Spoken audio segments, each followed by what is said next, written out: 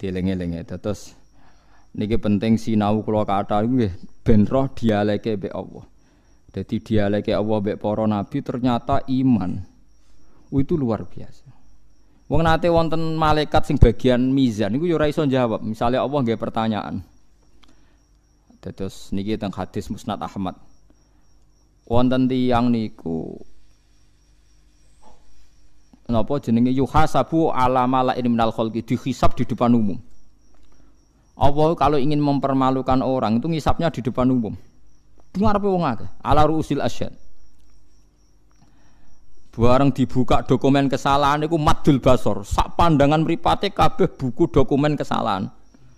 Tisun wa nasi jilah. Sangang pulau songo dokumen kesalahan. Ya kayak buku-buku yang KPK nih pengadilan, fotokopi birang-birang tumbuhan. Ini gue madul basor sepanjang pemandangan. Dia baik pangeran ditakoi, atung kiru hada syai'an apa ada yang salah di semua ini? Lah ya Rabbi, semuanya benar. Alaka hujatun, apa anda punya alasan sehingga anda punya kesalahan itu? Tidak, saya tidak punya alasan Gusti. Memang semuanya salahkan secara sadar dan salah. Semua malaikat narik di ini rokok, di ini sebalik kanan. Wis yakin min ahlinar.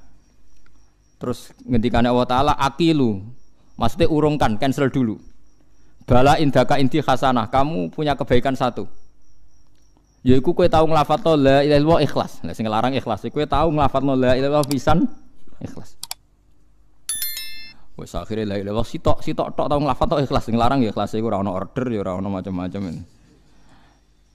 Lho kowe muni la ilaha kan gak ikhlas, mlebu swarga iku wis ra ikhlas wong kepengin.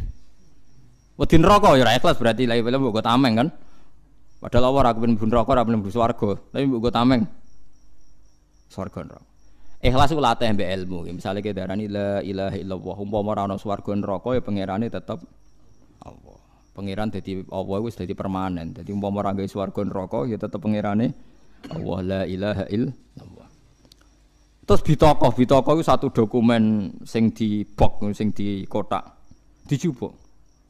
Ambek pangeran tidak kok neng mizan. Cara mriki napa kafatail mizan yo. Timbangan niku lho sing sitok apa jenenge? Nah cara wong Arab darane lisanul mizan iki sak kafah, iki sak kafah napa? Timbangan kuno kok ora napa? Wonten pembandingin napa kiri mek kanan itu napa jenenge? Napa badan sing sitok lho bandulan lho. Bahasa Arab mau niki pokoke kafatail mizan, sitok kafah. Semua kesalahan sitok kafah la ilaha illallah. Iku malaikat ditakoki. Mungkin ndak lafadz la ilaha illallah iku kalah mbek dosa. Akhirnya ya fala yaskulu ma'awahi syai'un enggak mungkin kan kalimat ini kalah sama kekuatan semua dosa tadi. Kue ikhlas nak ono kalimat Allah kalah ambek barang sak dunia sak isine. Enggak mungkin kan? Kue ikhlas lafat Allah kalah ambek Ya ora ikhlas kabeh. Mulane mangkola la ilaha illallah dakhalal jannah. Kok gak mungkin cara logika Allah kok kalah ambek liyane. Mulane hadis itu ditutup fala yaskulu ma'asmillahi ta'ala syai'un. Gak mungkin Allah kok tertandingi. Lah masalahnya wong sing terlalu nakal suwe nakal, iku kadang-kadang la ilaha illallah rusak, lha mati suul khotimah. Mergo gak tau ngergani kalimat la ilaha illallah. Iku sing paling medeni itu itu. Sebetulnya kalau asal ada mati mukmin, mbok dosa sundul langit tetep ana kemungkinan di sepuro. Mergo gak mungkin lafat Allah kalah mbek liya liyane. Mulane jare Ibnu Syihab Az-Zuhri jare ya ulama itu macam-macam, ya ana sing jelimet. Kula termasuk ulama sing gak seneng jelimet. Miftahul jannah la ilaha illallah. Kuncine swarga la ilaha illallah. Jare Ibnu Syihab Az-Zuhri. Kula ya rapati cocok tapi ya tak rungokno dawuh ulama. Jane rapati cocok kula tapi tak rungokno. Balagoni annal miftah laha asnan.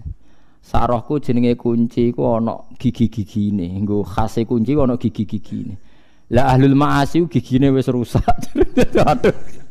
Kok malah dadi angel ngene masa kuasa lae. Dadi nak kunci ku ya bener kuncine la ilaha illallah cuma gigine ku wis rusak. Lah iku jare ra kena buka apa?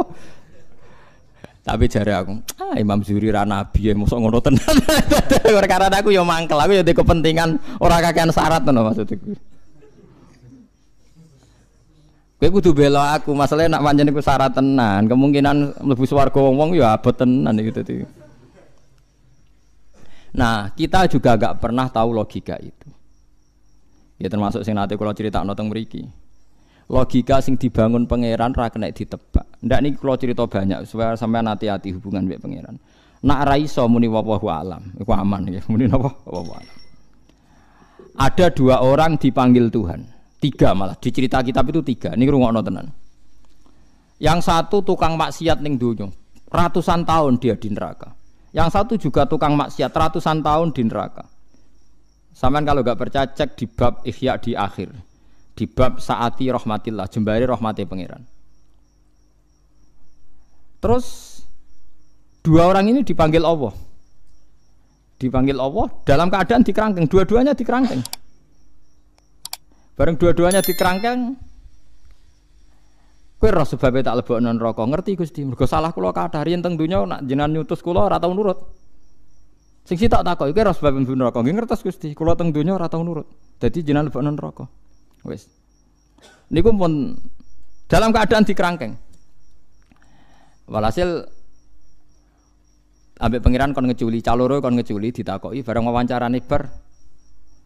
Caloro iku yo kan balik neh kerangkengan sampai diterone neraka.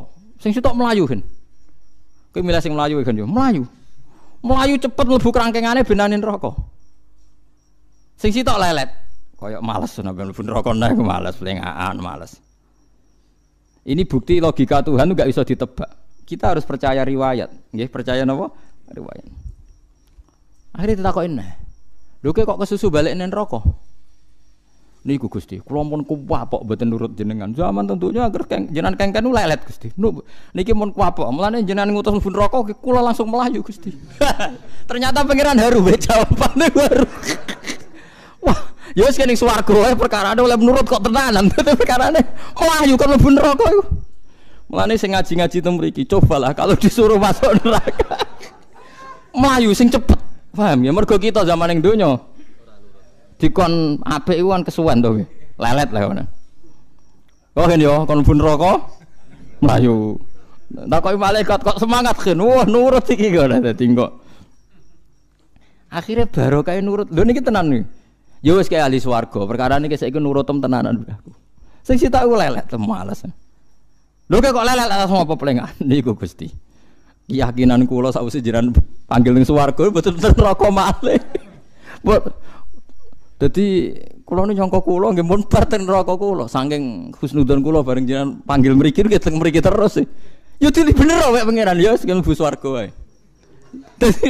Dua logika yang sama-sama dibenarkan apa? Allah. Lah sing sitok iku ana wong dipanggil pangeran. Kowe kena apa kok mlebu swarga? Ya mergi kula ora tau maksiat, mulyali ora tau maksiat tok terus mbek jenengan. Iya, tapi mlebu swarga mergo rahmatku, ora iso ge mlebu swarga krana ngamal. Mboten Gusti krana amal kula, kula tak rewangi ra maksiat krana taat ge mergi ben mlebu swarga. Jare pangeran, iya ngamalem 80 tahun ning dunya 80 tahun. Berarti swargame 80 tahun. Wong jarem krana ngamal kan, impas kan? Ngamal 80 tahun swarga. Mboten Gusti, jarene swargane jenengan selawase. Iya nak selawase rahmatku, nak ngamalem ra cukup. Wong ngamalem 80 tahun kok yo swarga. Selawase. Entek deh. Mun Gusti kula sak swarga kron fadhole jenengan. Gak aku wis kecewa neraka kowe.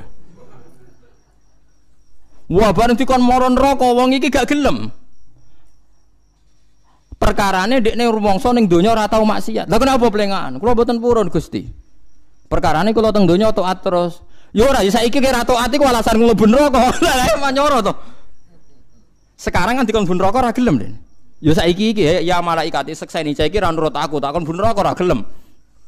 Yo mulai saiki kita hitung ra taat, tak kon neraka ora gelem. Nah, jadi kita tidak pernah tahu cara berpikir Tuhan. Kita mau duwe riwayat. Lagi pentingnya wong alim. Jadi wong alim kudu sinau terus. Ben duwe riwayat akeh terus disebar ning umat. Nak nyebar ya sing ikhlas wis kaya ora ono apa-apa bar wis.